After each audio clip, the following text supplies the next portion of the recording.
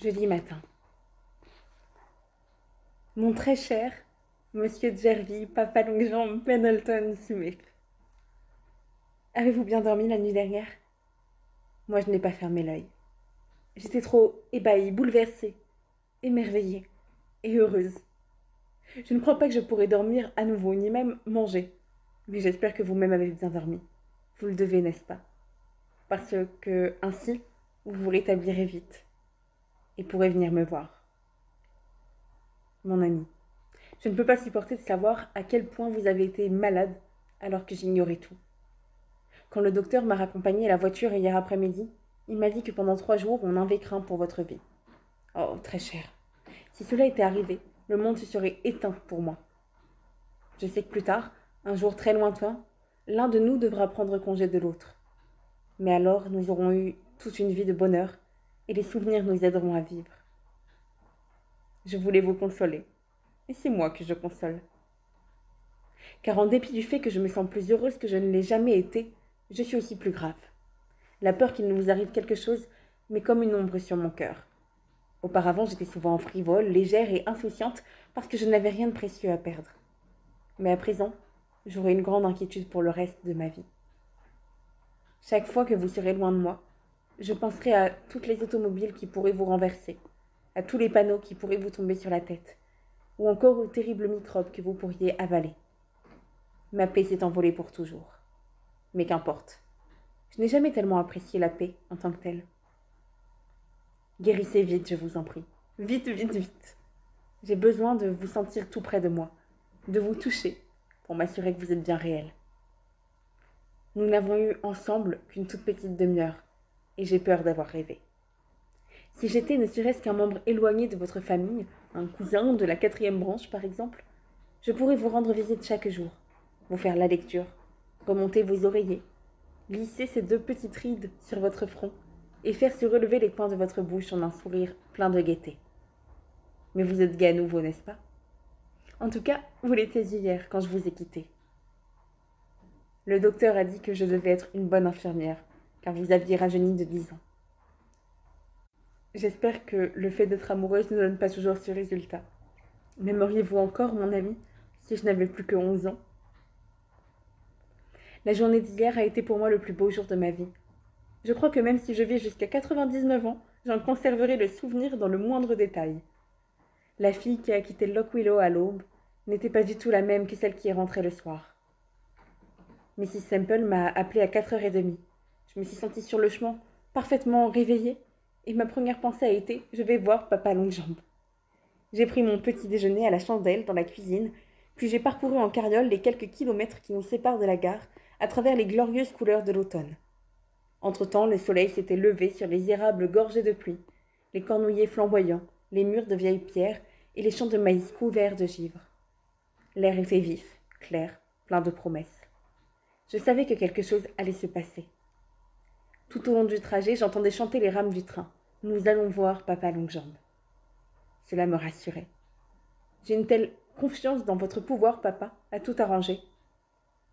Je savais que, quelque part, un autre homme, encore plus cher à mon cœur, désirait me voir, et j'avais le sentiment qu'avant la fin du voyage, je le rencontrerais aussi. Et vous voyez. Quand j'arrivai à la demeure de Madison Avenue, elle m'a semblé si imposante, si sombre et si sévère que je n'ai pas osé y sonner. J'ai fait le tour du pâté de maison pour rassembler mon courage. Mais je n'avais pas besoin d'avoir peur. Votre majordome est un vieil homme prévenant et paternel qui m'a tout de suite mise à l'aise. C'est vous, Miss Abbott? m'a-t-il demandé. J'ai répondu Oui, c'est bien moi. Ainsi, je n'ai pas eu besoin de prononcer votre nom. Il m'a fait attendre dans le salon. C'était une pièce très sombre, d'une sévère magnificence. Je me suis assise au bord d'un grand fauteuil capitonné, en me répétant Je vais voir papa longue jambe. Je vais voir papa longue jambe. Alors le vieil homme est revenu. Il m'a demandé de le suivre jusqu'à la bibliothèque. J'étais dans un tel état d'excitation que mes jambes refusaient presque de me porter. En arrivant devant la porte, il s'est tourné vers moi en murmurant Il a été très malade, Miss. C'est le premier jour où on lui permet de s'asseoir. Vous ne resterez pas trop longtemps. J'ai senti, à sa façon de parler, combien il vous aimait, et cela m'a touchée. Puis il a frappé en annonçant Miss Habot, et je suis entrée.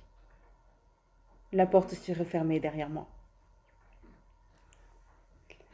Comparé au vestibule brillamment éclairé que je venais de quitter, la pièce me parut plongée dans la pénombre, et pendant un moment je ne pus rien distinguer. Puis j'aperçus un grand fauteuil devant le feu, une table reluisante où le thé était servi, et à côté une chaise, plus petite. Je vis alors qu'un homme occupait le fauteuil, calé dans des oreillers avec une couverture sur les genoux. Mais avant que j'aie pu l'en empêcher, il s'était levé, d'un pas chancelant, et se retenant au dossier du fauteuil, il leva son visage vers moi et me regarda. Et alors, alors, je vis que c'était vous. Mais même à cet instant, je ne compris pas. Je pensais que papa vous avait demandé de venir pour me faire une surprise. Alors vous avez éclaté de rire et vous m'avez tendu la main en disant Chère petite Jolie, ne pouviez-vous pas deviner que j'étais papa longue jambe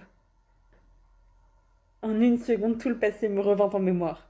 Oh, comme j'avais été sotte Mille petits riens auraient dû m'avertir si seulement j'avais eu un peu de bon sens.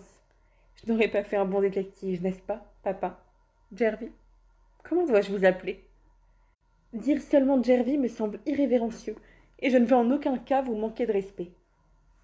Nous avons passé ensemble une merveilleuse demi-heure avant que votre docteur arrive et que je doive vous quitter. J'étais si troublée quand j'arrivais à la gare que je me suis presque trompée de train. J'ai failli partir pour Saint-Louis. Vous étiez troublé également. Vous avez oublié de m'offrir le thé. Mais nous étions tous deux très, très heureux, n'est-ce pas? Je suis rentrée avec la carriole à Lock Willow. La nuit était tombée. Oh, comme les étoiles brillaient. Et ce matin, j'ai emmené Colline revoir tous les endroits où nous nous sommes promenés ensemble. Et je me rappelais vos gestes d'alors et les propos que vous me teniez. Aujourd'hui, les bois ont revêtu une teinte cuivrée et l'air est saturé de givre. C'est un temps idéal pour l'escalade. J'aimerais que vous soyez là. Nous pourrions escalader les collines ensemble.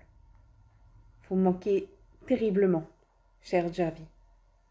Mais c'est une séparation joyeuse, car nous serons bientôt réunis. Nous sommes l'un à l'autre maintenant, et pour toujours, entièrement et sans faux semblant. N'est-il pas étrange pour ma part que j'appartienne enfin à quelqu'un? C'est un sentiment d'une grande douceur.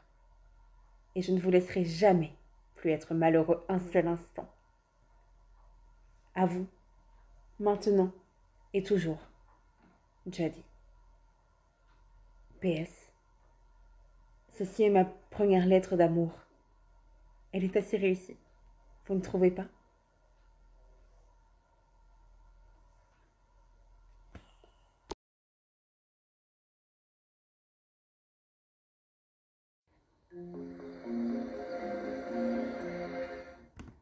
Nous voici arrivés à l'épisode final de ce livre, de cette série sur Papa Longue Jambe. Merci de nous avoir suivis tout au long de la diffusion.